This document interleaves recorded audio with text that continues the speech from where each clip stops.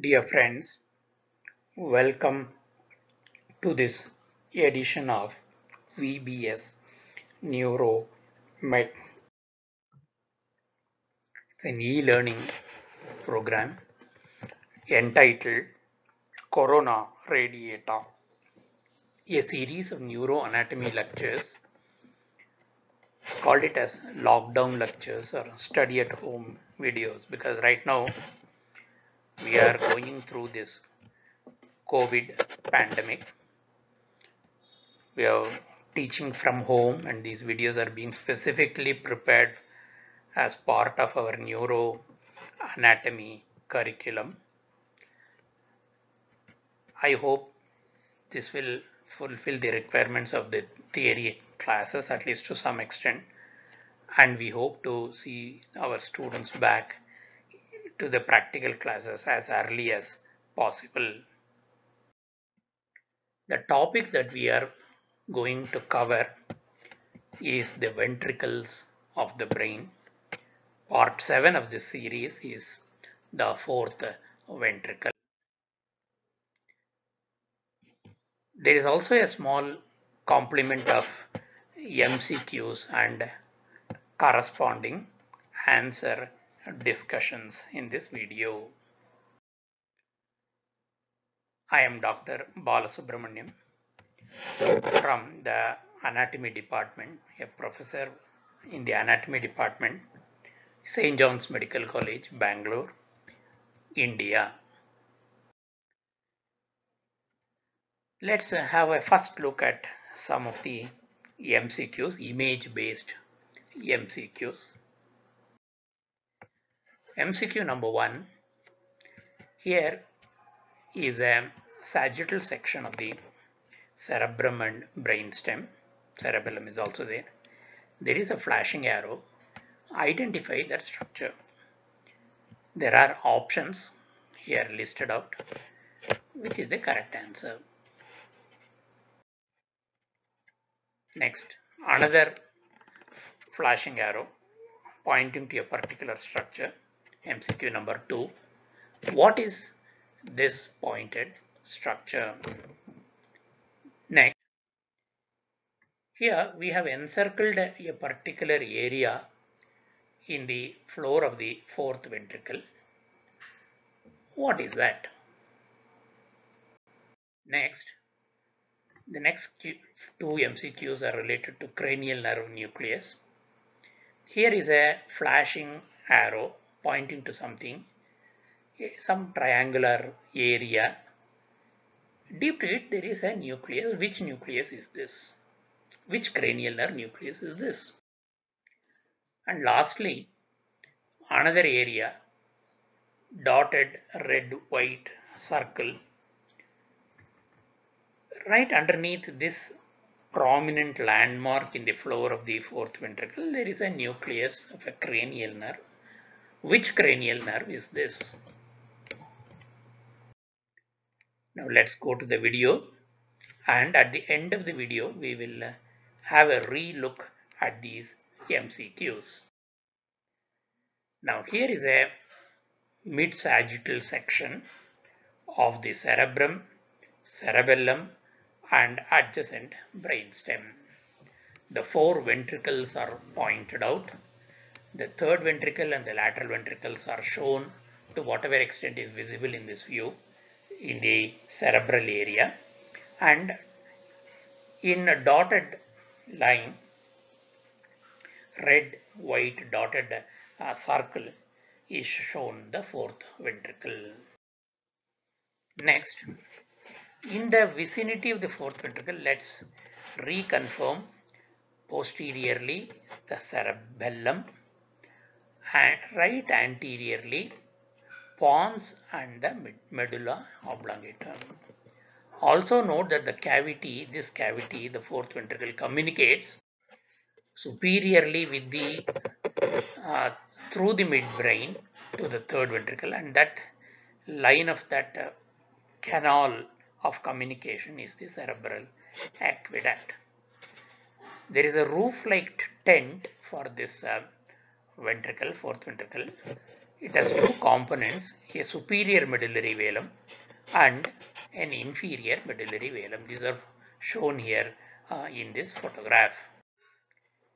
Next, the floor of this ventricle is best to seen from a posterior view. Ideally, what we have to do is we need to cut off a huge wedge of the cerebellum, remove it, and then this area comes to view.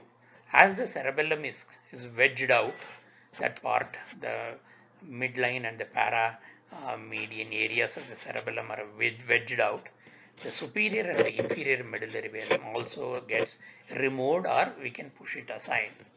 Now in this case, finally we have the floor and this floor is also known as the rhomboid fossa. I repeat rhomboid fossa. Now it is appropriate that we identify the which part of it is pons and which part of it is the medulla. Now we will add that to the uh, photograph. Next, these are the four corners of the rhomboid fossa. These are the four corners of the rhomboid. This is helpful later on when we have to talk of some important uh, uh, recesses, etc. Next, emerging from the midline on either sides, there is a spray of uh, fibers, white fibers called the striae medullaris. These are nothing but the posterior external arcuate fibers or the posterior external arcuate tract. Now let's identify some key landmarks in the fourth of the fourth. Remember this is a very very common uh, short note question in the theory paper. It can be asked in Viva and practicals also. The central line you see in the sagittal region, region is the median sulcus. On either sides of the median sulcus is an elevation. We will call it the median eminence. Now, there is a flashing dotted line coming up. That's actually lateral to the median eminence. Now that is the sulcus limitans. It's the lateral boundary of the median eminence. You see, now this is a long uh, sulcus. It's also there superiorly. I have shown the superior part only on one half because the other half there is another label uh, running, but it is there on both sides. Now, when you look at the lower part of the sulcus limitans, it has at it, is tipped at either ends by the superior and the inferior fovea. Superior and inferior fovea. And lateral, uh, here is the flashing uh, circles highlighting the superior fovea. The area lateral to the sulcus limitans, the lower part is the vestibular area, is the vestibular area. Next, let's go up. Again, using the sulcus limitans as a, as a as a landmark, we can identify one more structure. We'll come to that a little later, but before that, look at that flashing dotted circle. That's an important landmark called the facial colliculus. I repeat, facial colliculus. Deep to it is the abducent nucleus. And how is it related to the facial nerve? The fibers of the facial nerve due to a concept called a neurobiotaxis. They go backwards, wind around the abducent nerve, sixth cranial nerve, and then uh, emerge out. Now this looping behind the uh, abducent raises a elevation seen well in the floor of the fourth ventricle and we call that as facial colliculus. That means Although the colliculus is called the facial colliculus, the nucleus underneath is the abducent nucleus. Next, let's go to that area I told you. The cranial end of this uh, sulcus limitans, there is a pigmented area, melanin rich area called locus ceruleus. It contains the nucleus of the same name. There is a melanin pigmentation. As a result, it shows bluish gray appearance in a fresh brain section. This bluish tinge is very well seen. This is a pigmented area. Next, lower down, when the sulcus limitans is traced down, the inferior fovea expands to cover a triangle called the vagal triangle. Cover the vagal triangle. Medial to the vagal triangle, the extension of the median eminence is the hypoglossal triangle. That means deep to these two are respectively the hypoglossal nucleus and the vagal nucleus. Next, there are forming the infralateral boundary, gracile tubercle and the cuneate tubercle are important landmarks uh, in this uh, region. Next, there is a area marked in red, white dotted line. It looks like the nib of a pen. Therefore, it, it's just a area of reference. Uh, we are not going to attribute any functionality importance to it. It's just uh, a, a passing reference. We call this as calamus scriptorius. I repeat, calamus scriptorius because it looks like the um, pen nib. Next, the tip of this area, calamus scriptorius, the lower tip, is the obex. Obex is a junction where the fourth ventricle, the cavity ends and the canal, central canal of the spinal cord begins. Taenia is basically a pia ependymal uh, ridge which runs laterally uh, up to the foramen of Luschka which we will discuss uh, in, in the next few slides. Next, there is another important area generally not very well seen but locally identified here as inferolateral to the uh, vagal triangle. That area is called the area postrema. There is something very particular about this. Although it is not that well seen, it is emphasized in all discussions. This area postrema does not have blood-brain barrier. There is something very important uh, to note. Plus, two centers, the vomiting center and the respiratory center are deep to it. That's what I mentioned. I just added a note there. Next, we will try to finish up with a few leftover items that can be easily identified. I told you superior medullary velum forms the cranial part of the tent-like roof. Here we have reflected a small bit of it is there between the two superior cerebellar peduncles. Now that's the superior cerebellar peduncle. It runs from the midbrain into the cerebellum and here it forms the uh, lateral edge of the uh, roof of this um, fourth ventricle. On this side, the superior medullary velum has been turned aside. It's a thin uh, tent sheet. Similarly, you can you can see just like the superior cerebellar peduncle, you can also see supralateral to the gracile and the uh, cuneate nucleus, which I showed you earlier, is another huge ridge from the uh, medulla oblongata running towards the cerebellum. That's the inferior cerebellar peduncle.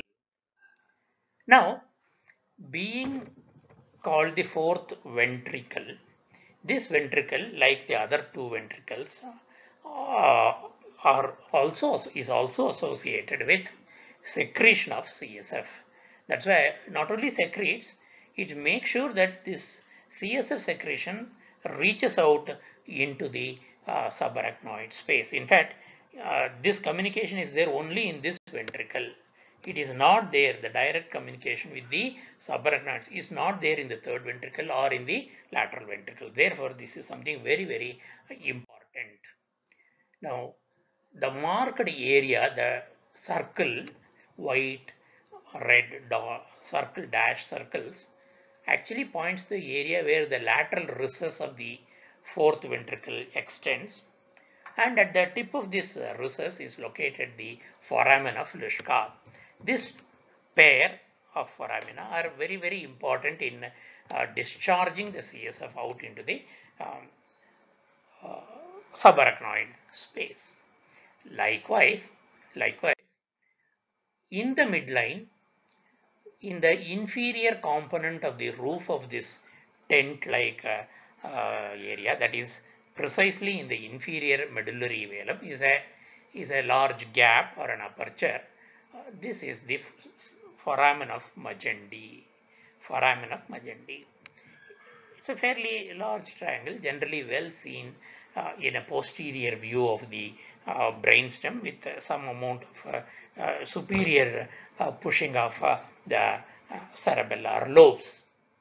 This also, because it communicates, it communicates with the cerebellomedullary cistern and by that communication it discharges the CSF into the subarachnoid space. Now, to secrete the cerebrospinal fluid, it's a it's a filtered um, blood. So many components are removed, so many components are added that your biochemistry will tell you. But then ultimately, choroid plexus is a CSF secreting lump of vascular loops fed by the posterior inferior cerebellar artery. Now, it's time that post discussion we revisit the questions with a, a focus on the answer.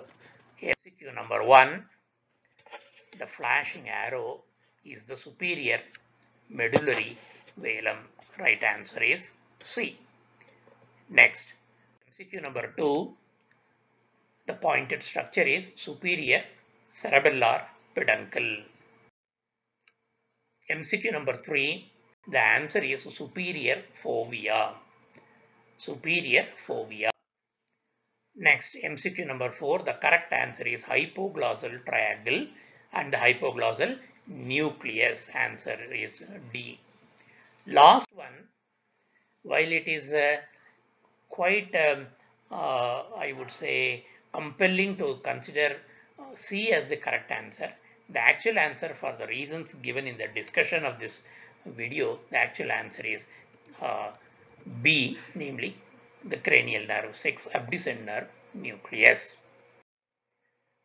That was a brief overview of the fourth ventricle with a few image based MCQs added and I'm sure these will be of some use to the students when they take up entrance exams uh, in, in, at a future date you will have some feedback. Here is my uh, email ID. Uh, you can write to me on this ID or better still, post your feedback in the blog area immediately below the YouTube video. Thank you for your patient hearing.